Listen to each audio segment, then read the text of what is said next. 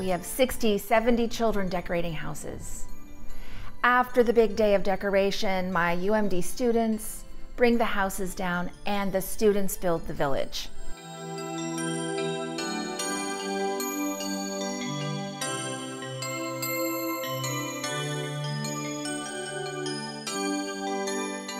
This is our seventh year of the Pepperkakabyen, and Allison started it with some other friends and is kind of uh, continued on because we always have so much fun. And people love to come here and view the city during the Christmas season.